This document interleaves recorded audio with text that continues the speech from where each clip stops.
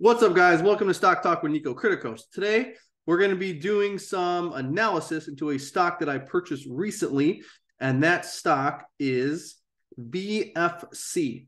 So I purchased about $1,500 of this stock, and as soon as I discovered it, um, I started researching it, and it really caught my attention, and I fell in love with it because I just thought this looks like easy money to me. So here's the five year chart. You can see in the last couple of years, it's hit around $100 a share a couple times. Um, during the, the crash of 2020, it went down to $48. And now we're all the way down to 33.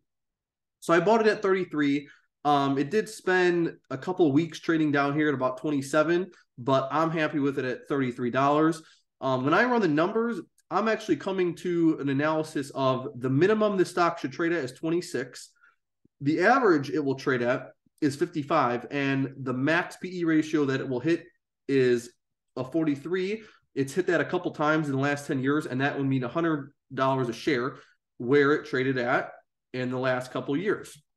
Now, those numbers are also just based off of the earnings, the EPS they're going to do for this year. And this year is going to be bad. They lowered their guidance um, and it's down to two point four dollars of EPS. The, the the the following year, it's expected to be two point seven, and I think they're going to get back to about three dollars of EPS, and then you know hopefully more uh, at some point in the future. But I think this is just going. They're going to have a bad year, of course, because we have a recession.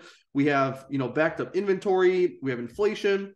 All those things are pretty much hurting every a lot of different retailers and similar companies. We're actually going to compare this to about four other competitors up here.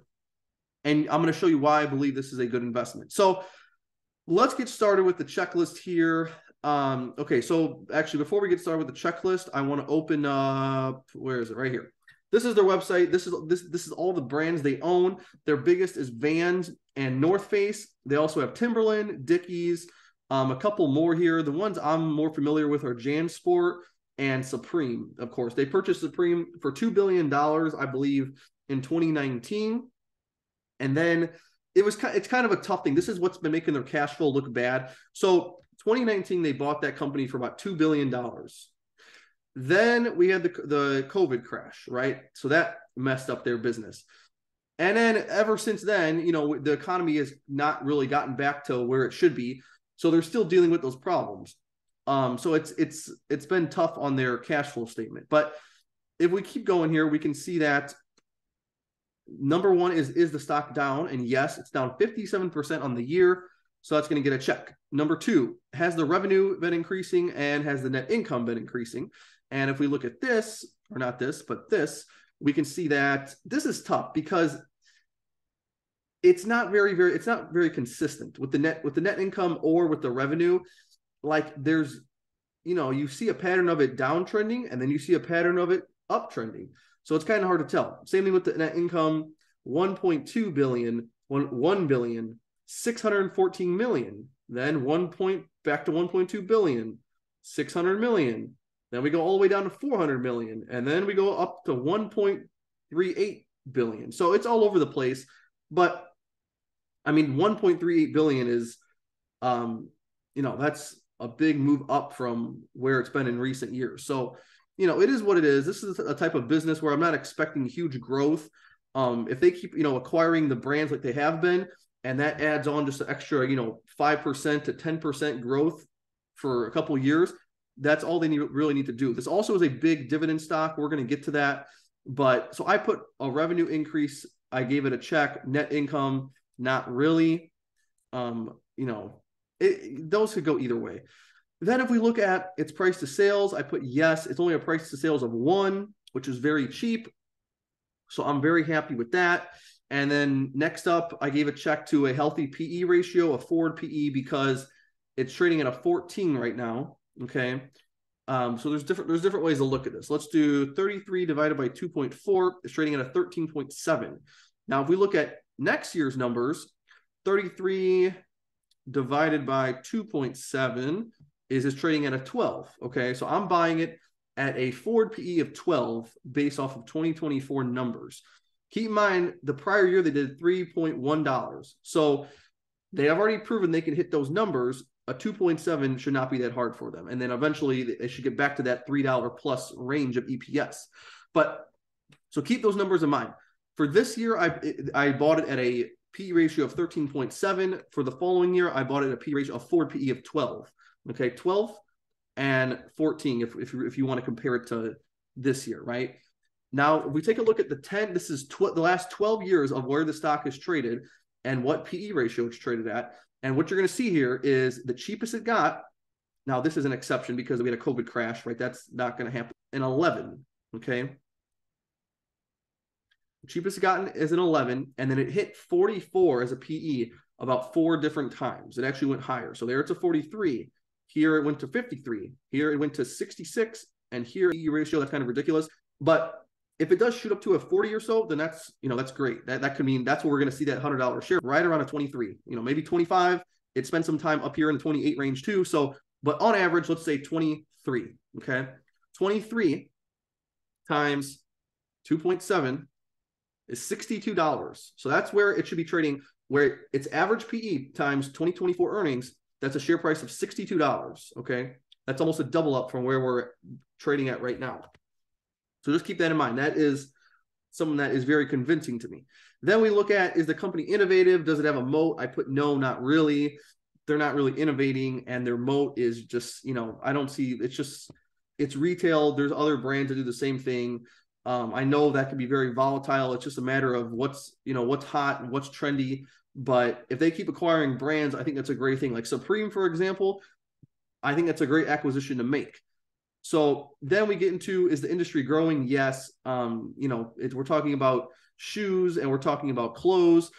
The nice thing here too is it's not just you know it's not just uh, fancy clothes. It's not just cheap clothes or expensive shoes or cheap shoes. It's it's both. It's a mix. You got Supreme that sells T-shirts for a couple hundred dollars, and then you got Dickies that sells T-shirts for like ten dollars. So it's a nice mix there.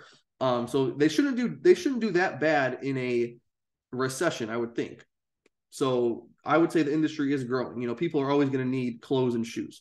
Is the return on invested capital strong or improving? I put no.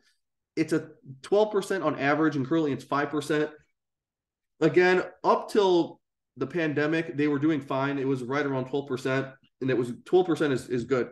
But then since COVID, you know, it, it went back up to like nine, and now it's falling back down to about five. So no, it's not good. They're dealing with the same problems as other companies. You know, it depends on what inflation turns out to be in 2023. Are we going to see crude oil prices keep going up? Um, you know, how are transportation costs and stuff like that? Are the margins respectable? I put yes. This is where I wanted to compare. This is interesting when you compare against other companies. Like, so this is VF. I, I believe it stands for Vanity Fair.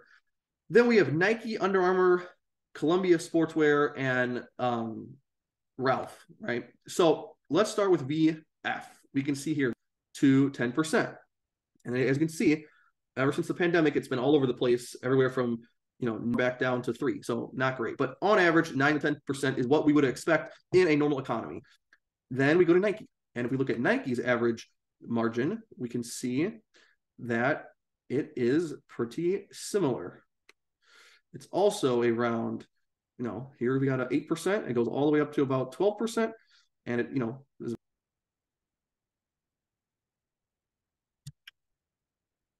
well, it'd be nice if these were loading, but the bottom line is all these companies pretty much trade right around that 8 to 12% profit margin. They pretty much average about 10%. So they're all kind of doing the same thing here. And they're all inflation. All right, we'll get back to that. But they're all about 10%.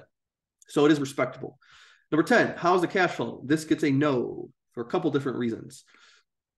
The biggest one, or one of the biggest, is you got to look at how much cash they have, how much debt they have, and how much are they paying off in dividends. Because in this case, they're paying a lot in dividends.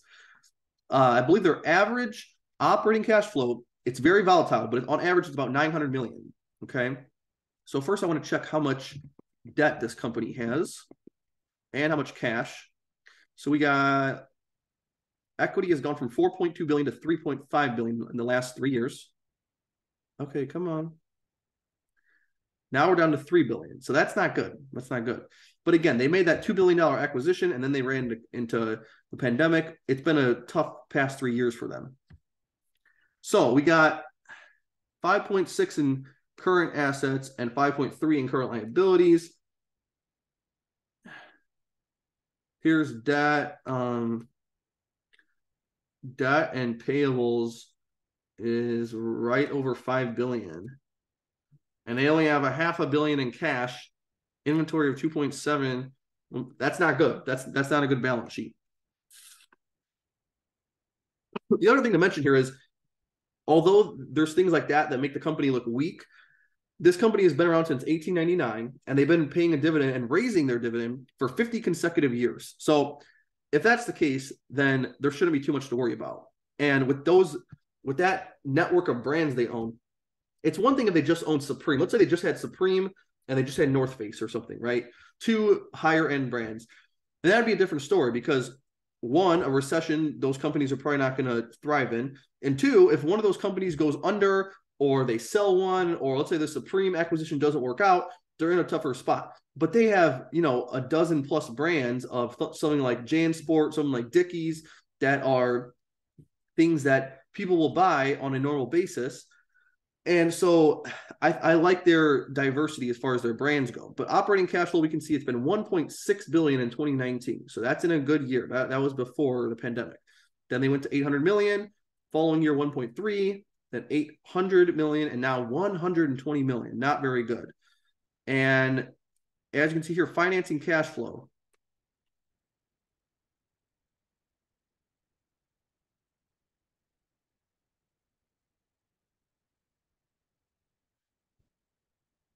Okay, so cash dividends paid $700 million, over 700 million, and they only made 100 million. So not great. That's why the payout ratio looks so bad. Free cash flow was negative. Again, that's not good. Hopefully, 2023 we'll see a different story with that. But that's why that gets a no. I'm just going to close these out. You guys are just going to have to trust me. It's 10%. Have diverse revenue streams. Yes, not only do they operate internationally, but they also have all those brands, like I mentioned. So that's another reason. More assets, more assets and liabilities. Yes, but barely. Is equity over 10% of the market cap? Yes, the market cap is about 12 billion is what we're paying for it. And their balance sheet has what, $3 billion of equity, right? Share count decrease. This is one of my most important things to look for. I like looking for this. And if we go here, we can see that in fact, share change year over year, minus one and a half percent. Good enough for me. Are insiders interested? Yes, they are. If we check here,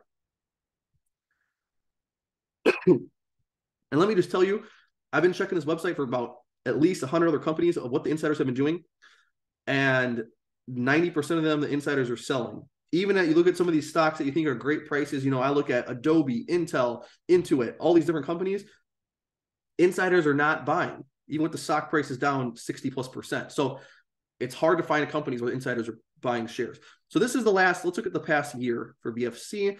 We have seven buys and two sells. That is definitely one of the best uh, reports that I've seen.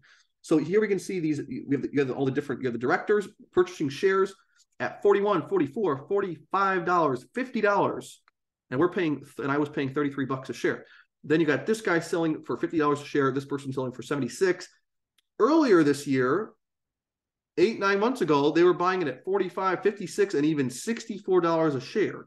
So they were buying at those prices.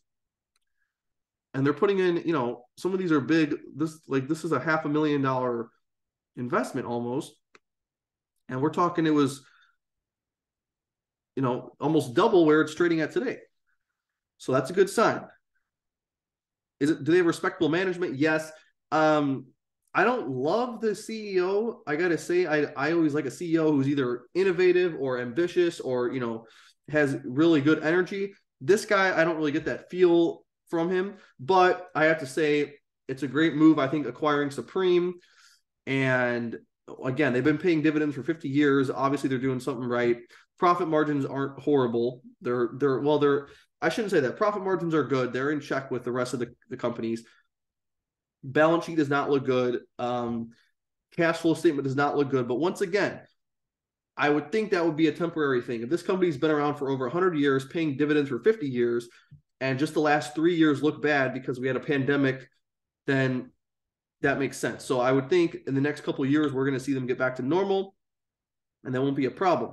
One thing I would, I mean, so the dividend yield is over 6%. It's like 6.2%, 6.1% here, right? That's big. Especially they they they were paying out, you know, six times more in dividends than what they were actually earning. So I wouldn't mind if they actually cut down that dividend. Maybe they, maybe they can make it a 4% dividend right now or something like that. So that would help. To, I'd rather than pay off that debt and get a healthier balance sheet. And then do they have more cash and average earnings? No. Remember, I think it was just a half a billion dollars in cash on the balance sheet. And this company is normally doing like up to 1.3 billion in um in, in net income 1.3 billion sometimes a billion sometimes 700 million so i think they should have at least five over 500 million in uh, cash do they have a healthy dividend no this was tough because this is tough to say because it's very it's a very good sign. They've, how I said, dividend for 50 years, and they kept raising the dividend. It's a six percent dividend, which is a lot. That's a, that's super strong. But again, it's not. I can't say it's healthy right now because the payout ratio is so high. They're paying out way more than what they can afford, so that's not healthy. Finally, is it over 20 years old? Yes. I believe older companies are safer to invest in. They have a more proven track record, and this company is over 100 years old, over 120 years old. So that's going to get a yes. So all in all, we have a score of 13 out of 19. That means this is an acceptable stock. And those are the reasons I bought VFC.